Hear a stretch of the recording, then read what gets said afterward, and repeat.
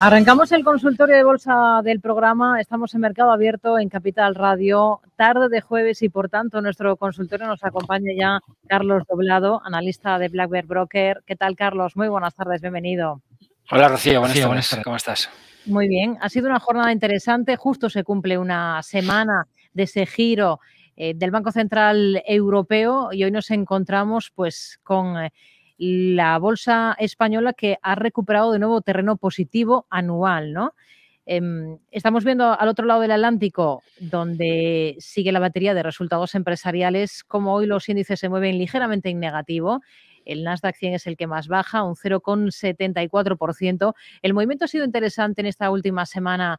Em, también en el mercado de divisas, pero en el mercado de bonos sobre todo. Tenemos el rendimiento del bono estadounidense a 10 años ahora mismo, superando cotas del 2%. Y hemos conocido un dato importante de IPC en Estados Unidos del mes de enero. La interanual está ya en el 7,5%. Este es el contexto. Mm, de los índices que espera en este contexto, Carlos.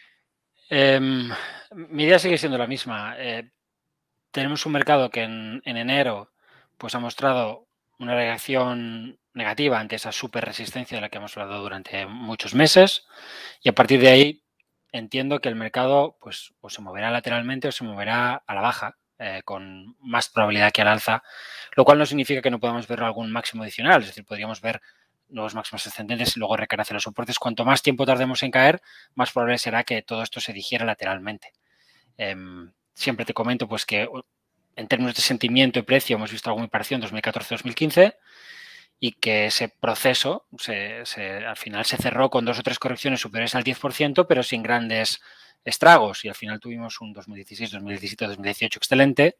Bueno, 2016, 2017 maravilloso, el 2018 ya fue más complicado, con una corrección del 20% al final del año, pero que desde luego, pues eh, aquellos que compran y mantienen índices les, les justificó esos tres años de, de digamos, de aguantar esos vaivenes. El problema es que no tenemos necesariamente que ver eso, podemos ver correcciones más intensas como esa de finales del 2018 o como la de primeros del 2020. Es decir, estamos en un mercado técnicamente vulnerable. Ahora bien, ¿qué ha pasado en este proceso, digamos, de, movimiento hacia atrás? Tú hablabas de los bonos, por ejemplo, que hoy están marcando nuevos mínimos. Al final, eh, el tema de los tipos de interés es un tema eh, largo y complejo, ¿no? la cuestión siempre al final es a, qué le tiene miedo el mercado, si la inflación o al crecimiento, es decir, valorar si, si en un momento determinado la caída de tipos, si la caída de tipos esconde, en un momento determinado, o la subida de tipos en este caso, esconde pues un empeoramiento de las expectativas de, crecimiento, eso lógicamente no le va a venir bien a la bolsa. Em, no siempre ha de ser así. Y en este caso el mercado, pues, lo que está haciendo de forma más o menos normal los últimos meses es, bueno, consolidar esa, digamos, fuerte caída del precio de los bonos. Ahí tienes el 10 años, en, eh, los futuros de 10 años y el Dow industrial. Eh, bueno, pues desde que los, los, bonos a 10 años están recayendo, al mercado le está costando. Está costando. El mercado se está acostumbrando a la idea de que tendrá que pagar tipos de interés más altos eso no necesariamente eh, supone un mercado bajista, debe suponerlo por muchos motivos, pero es que la historia demuestra. Al final, em, los, periodos em, de, subidas de tipos han sido los periodos en los cuales la renta variable ha acumulado mayores alzas. Puede ser paradójico, pero son datos. ¿eh? No, no, te voy a decir por qué, porque yo no soy ni filósofo ni economista, pero em, el tiempo en el cual los mercados han estado los mercados de, tipos de interés han estado presionando al alza por, la acción de la Reserva Federal, eh, los, mercados de renta variable no han funcionado peor que aquellos, aquellos entornos, y digo de forma general, que aquellos entornos en los cuales eh, los tipos de interés bajaban o se mantienen estables. Habrían sido incluso mejores. Em, a mí, por tanto, esto, pues dentro de lo que cabe, no me preocupa demasiado. Evidentemente hay, hay entornos de subidas de tipos y entornos de subidas de tipos. Si, vas a pasar del 1% al 18%, evidentemente vas a tener un problema. Si vas a pasar del 1 al 2 o al 3, quizá no es para tanto, ¿no? Entonces, el mercado de momento lo está diciendo en lateral, se está acostumbrando a estos niveles de tipos de interés y a su propia altura, a su mal de altura y a esa zona de resistencias que teníamos ahí y que tenemos ahí. Con lo cual, puede que haga falta más tiempo. A mí me parecería razonable ver más tiempo dentro de una lateralidad amplia em, si el mercado quiere seguir escalando. Eh, como hemos comentado en tu programa, otras veces hemos visto deterioro Hemos visto el mercado caer por debajo de esas medias 200 de, forma general, pero también hemos visto cómo se ha recuperado esa media de 200 en los últimos días. Y como esa media de 200 sesiones, en muchos índices, como el Dow, como el NICE, ha servido como soporte. A finales de la semana pasada la encontramos de nuevo y nos movemos, a mediados de la semana pasada, y nos hemos vuelto a mover hacia arriba. Finales de la semana pasada. Esto no deja de ser un comportamiento positivo en tendencia alcista, es decir, hemos recuperado ese soporte teórico que es la media de 200 sesiones. Insisto que esto es un gráfico total return para aquellos que, lo vean y no lo identifiquen, eh, que, hace el Dow Jones Industrial a 80 y pico mil puntos. Bueno, pues está haciendo lo que deberíamos hacer todos si queremos comprender la acción del mercado, que es eh, reinvertir el dividendo. Ese, proceso de lateralidad que estamos viendo por encima de la media móvil es un, proceso confortable. Si los, si los, índices aguantan aquí siguen escalando hasta máximos, lo que tendremos es claramente la idea de que estamos en un lateral, que no hemos entrado en un mercado bajista, aunque se, han visto cosas que mm, lo permitirían, eh, aunque incorporamos en el tiempo cosas que suelen pasar antes de que se produzcan los mercados bajistas, es decir, esa extensión de inversor extremo, llegada a grandes resistencias, ese patrón envolvente, toda una serie de cosas que tenemos ahí que pueden derivar en un mercado bajista, pero siempre hago esta distinción en los últimos tiempos contigo. Una cosa es el análisis, otra cosa es la realidad, son las tendencias, es el hecho objetivo que los precios despliegan. Y si nos fijamos en ese hecho objetivo, en lo que sería pues en el Dow Jones Industrial, lo hemos visto ahí abajo, o en un DAX, por ejemplo, por tomar un índice europeo, podemos ver que el mercado sigue respetando esos, esos niveles de mínimos de los últimos meses. Por tanto, sigue estando, en el peor de los casos, en una tendencia lateral. Y mientras no rompamos a la baja, sí. ese es el entorno. Con lo cual, las correcciones pueden ser oportunidades de compra pensando en un movimiento hacia la resistencia y ahí ya veremos. En principio, a mí me parece difícil batirlas sosteniblemente. Y solo con el paso de los meses, si estos soportes eh, vuelven a testearse y el mercado ha digerido bien, se ha alejado en precio de esa línea de resistencia, tendríamos espacio para subir. Digo, esta línea de resistencia que ofrece el SP500. Y no es difícil que esa línea de resistencia suba. De nuevo, pongo la vista en ese 2014-2015. Podemos ver cómo desde el 2015 pues el mercado se ha más que doblado y la línea de resistencia sigue ahí. ¿Por qué? Porque es una resistencia que sube el 1.2% al año y eso es mucho. Es decir, es, es, es que es un 13% al año. Podemos subir un 13% al año que es el doble de lo que sube la bolsa en términos históricos a largo plazo, sin necesitar romper esa superresistencia. Así que, bueno, es un área muy vulnerable, es un área muy difícil, es un área donde alguna vez he dicho que yo hasta lo vendería todo y esperaría, eh, pero cuando te toca esperar es para ver qué tipo de reacción tienes. Y lo cierto es que la reacción a la baja de enero ha sido inquietante, pero no concluyente y no, no se puede decir que los bajistas hayan conseguido realmente algo Em, de eso que te hace em, alejarte de la bolsa por un tiempo o de verdad pues atrincherarte y, decir, bueno, yo no voy a aprovechar cosas como por ejemplo lo que podría ser el regalo que te hace Facebook, ¿no? Que eh, hoy, hoy hablábamos de dinero confidencial, a mí honestamente puede salir fatal, pero o cualquier cosa que pruebes, pero comprar Facebook un 60 y pico por ciento por, bueno, meta hoy, ¿no? Un 60 y pico por ciento por debajo de los máximos. Comprarlo en, el mismo nivel que estaban los precios antes de la crisis sanitaria, eh, sobre la que sería su línea de tendencia principal, porque si nos vamos hasta los primeros días de su salida a bolsa y, bueno, proyectamos una línea de tendencia, pues nos damos cuenta que estamos ahí, en esa línea de tendencia, sobre ese soporte horizontal, con un retroceso de, los precios de dos terceras partes. Hemos visto un, dos tercios, hemos entregado todo lo que la teoría DAO te dice que tienes que devolver al mercado o que puedes devolver al mercado dentro de un proceso tendencial normal. Pues si tomamos todo el rally, ya no desde los mínimos de la crisis sanitaria, sino desde el mínimo de la corrección previa, pues sea, de todo este lateral, vemos que aquí, desde 2018, tenemos esa corrección de la que hablábamos del 20% de modo general, que tiene una corrección fuerte. Facebook, entonces Facebook, Facebook hoy Meta, tiene una corrección fuerte. Los precios recuperan, vuelven a los máximos previos, no los superan y vuelven a caer durante la crisis sanitaria. Es decir, tenemos un lateral con dos fases. Bien, pues la primera, digamos, el primer movimiento, porque luego no recaemos hasta los mínimos, el suelo del movimiento lateral que se produce a finales del 18. Bien, pues de finales del 18 a mediados septiembre del 2021, todo ese proceso, 2018, 2019, 2020, y unos cuantos meses de 2021. Todo eso, no, 2018 no, perdón, 2019, 2020 y tres trimestres del 21, casi tres años. Bueno, pues hemos devuelto dos terceras partes de ese movimiento. Para un técnico eso es, un soporte extraordinario, de forma natural, pero es que además aquí tenemos otros dos grandes soportes, ya no teóricos, sino son hechos. Son, como te decía, los máximos del 18, los máximos previos de la crisis sanitaria, eso son antigua zona de resistencia, ahora es un soporte, es un soporte que el mercado confirma en forma de pullback, pues después de su ruptura, pues un poquito después de la misma, hacia agosto del 2020, ¿Mm? y es que estamos ahí. Ayer los precios dejaron pues algo interesante por primera vez. Esto es un cuchillo que cae, que diríamos se va hacia el soporte. En la jornada del, pues hoy, es, jueves, pues la jornada del martes, los precios dejan este tipo de patrón, que es un patrón que puede ser visto como un doji o como una vela de onda alta. Es muy agresivo, pero ya tienes algo que te dice aquí hay reflexión y al día siguiente ayer tenemos una vela blanca. Estas tres velas combinadas son lo que llamamos lucero del alba. Es un tipo de patrón que tiene importancia sobre zona de soporte. Y esta no es que sea una zona de soporte, es que esta es una zona de soporte descomunal.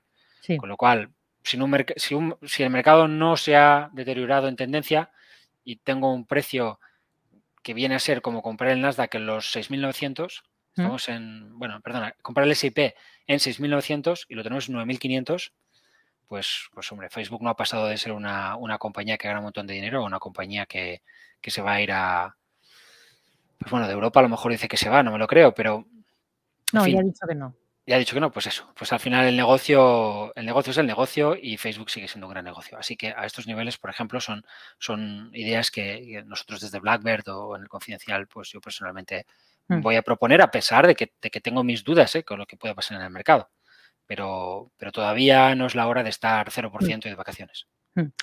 Carlos, vamos a ir con dudas concretas de oyentes. Recuerdo eh, el correo al que pueden escribirnos si quieren plantearnos esas cuestiones es oyentes arroba capitalradio.es 687-050-600 el WhatsApp para enviarnos, para dejarnos notas de audio y también pueden llamarnos al 91 283 3333. Lo primero que vamos a hacer es escuchar esta nota de audio que nos ha dejado este oyente. Hola, buenas tardes. Me gustaría que me analizara el Banco Santander. Estoy dentro con acciones compradas a 320. Un saludo, muchas gracias. 3,20 euros dentro del Banco Santander. Últimamente ya le digo que eh, siempre nos preguntan por bancos. Bueno, cuando el mercado está caliente, todo el mundo quiere, quiere calor, ¿no? Eh, en 2020 no los quería nadie, ahora son una maravilla. Bueno, lo cierto es que los bancos se reestructuran a finales del año 2020 con un patrón clásico de vuelta. Eh, nosotros en Blackbird tenemos una estrategia alcista sectorial lanzada a este nivel. 280, vamos por 440. Incluso siendo yo pesimista para los próximos meses, no se me ha ocurrido cerrar esa, posición. Em, ¿Por qué? Pues porque, bueno, por el entorno de tipos de interés, por, el cambio de ciclo a lo mejor hacia valores más value o valores más castigados, podría tener sentido. Y al haber reducido muchas cosas, esta, honestamente, es, una parte del mercado que no, que no he cerrado. Sí lo hacía con Santander en, en el rally hacia los 3 euros porque honestamente se deterioró bastante, mucho más que, de, lo, que ha hecho el mercado y por eso mismo está ahora acercándose a los altos previos del 2021, mientras el sector ya se acerca a los altos previos del 2018. Bueno, ahí tenemos fuerte resistencia entre los máximos del 2018 y los máximos del, 2017. Estamos cerquita, le falta un, pues un 10-15%. Con lo cual, yo pienso que el rally en gran medida pues, pues se ha desarrollado. Eh, ¿Para seguir escalando los precios? Creo que sí. Sea, honestamente creo que el Santander se puede acercar perfectamente a la zona del 3,8 y que ahí, pues bueno, encontrará su, primer nivel de gran dificultad. Hmm. Vamos con un correo electrónico que nos envía Luis. Pregunta por dos compañías. Una de ellas es L'Oreal. Quiere un análisis de este valor y dice que tiene posiciones a 296. En la última sesión presentaba resultados la firma francesa. Y otra compañía es para entrar en este caso, es del mercado suizo. Le digo el ticker es S de Sevilla, T de Teruel, M de Madrid, N de Navarra. STMN y la compañía es eh, Trauman, Holdings. Muy bien.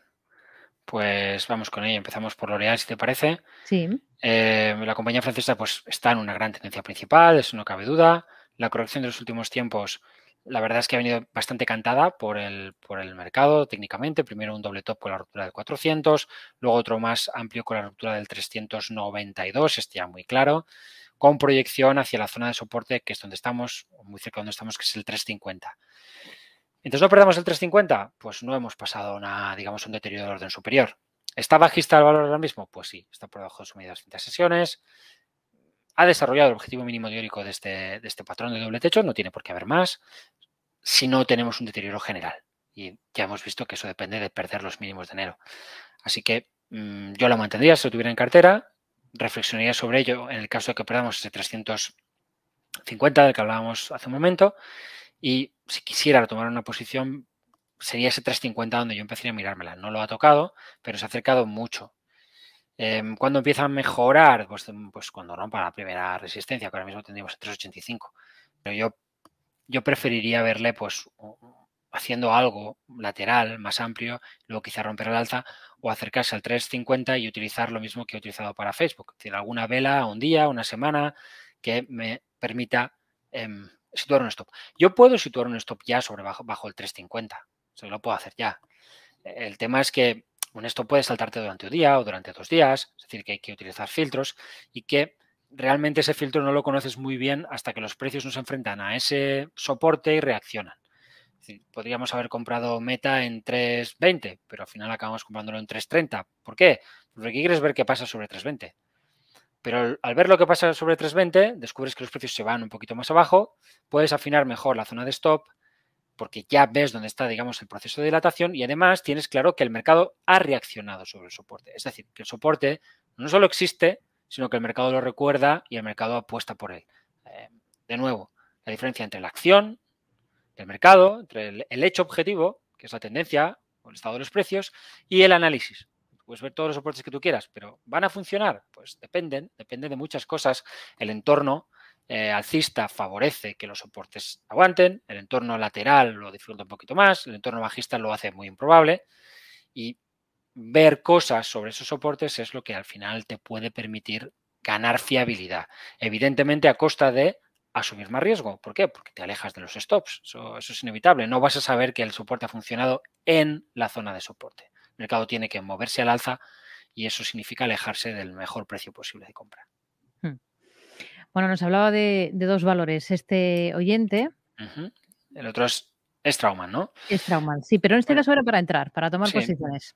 Muy bien, la compañía es, es, una compañía que lo ha hecho fabulosamente bien. Me quedan pocas dudas de que en algún momento volverá a hacerlo maravillosamente bien. Lo que no sé si tardará tres días, tres meses, tres años, no sé.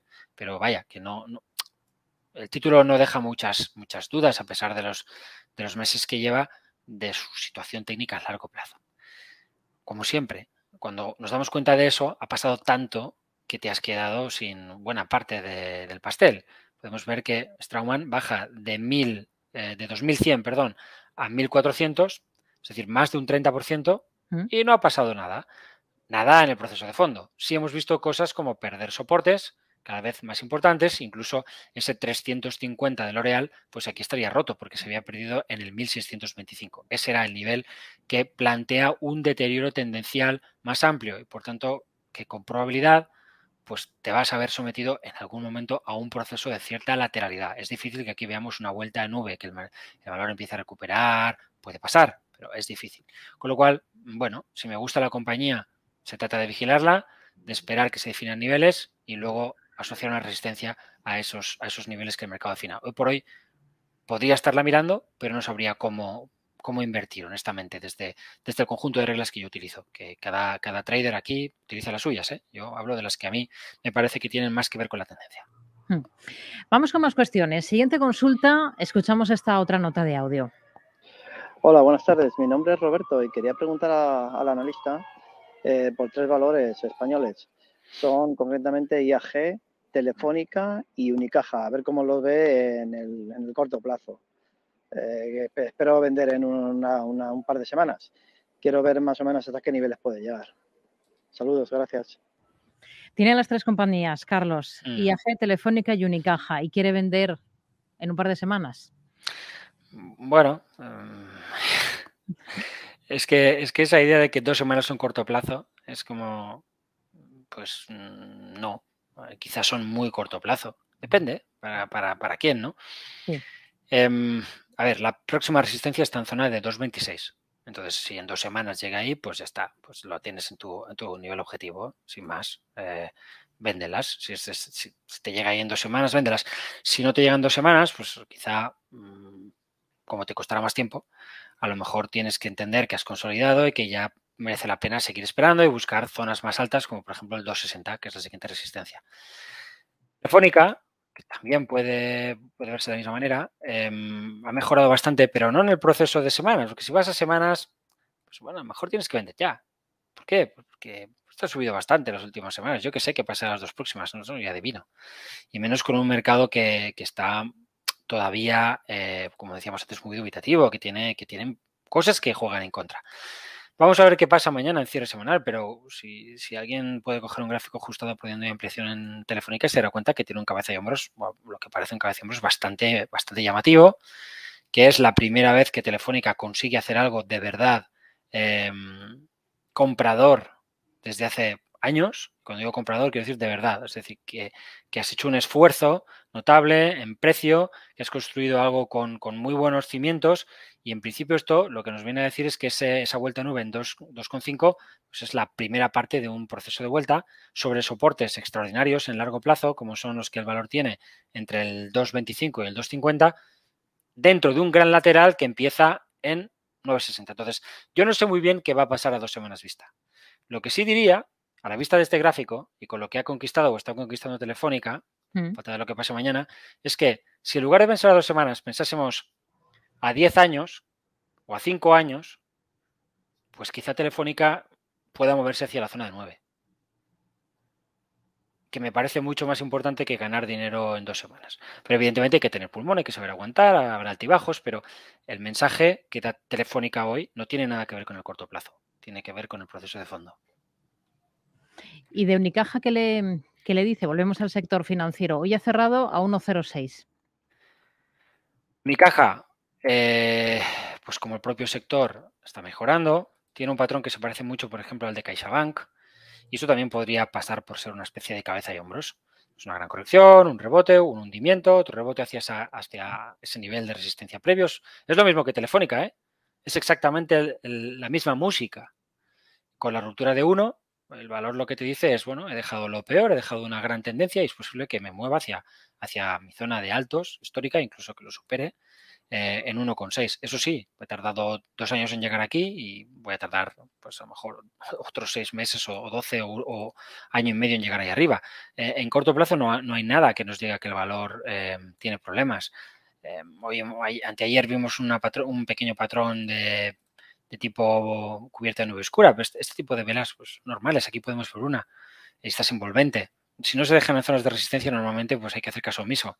Y esta no está en zona de resistencia, está claramente por encima de la resistencia clave en proceso de fondo, que estaba en el entorno del 0,98,1 y eso, a falta de cierre semanal, ha sido, ha sido superado, con lo cual yo pensaría más en irme a 1,6 con un stop, por ejemplo, bajo la zona 0,7 ¿Mm? eh, que, va a hacer en dos semanas. Porque el problema es que después de dos, semanas más tarde, eh, cuando haya pasado ese corto plazo y el dinero esté en el bolsillo, entonces ¿qué?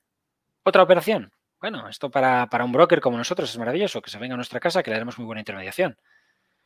Pero el que de verdad hace dinero cuando estamos operando así, bueno, porque en dos semanas me quiero salir, pues, es el broker. Dos semanas, ¿por qué? ¿Por qué no ocho días? ¿Por qué no dieciocho? ¿Por qué no seis meses? Es decir, porque los, objetivos tienen que estar vinculados con el discurso del precio, con, los activos, no con el tiempo.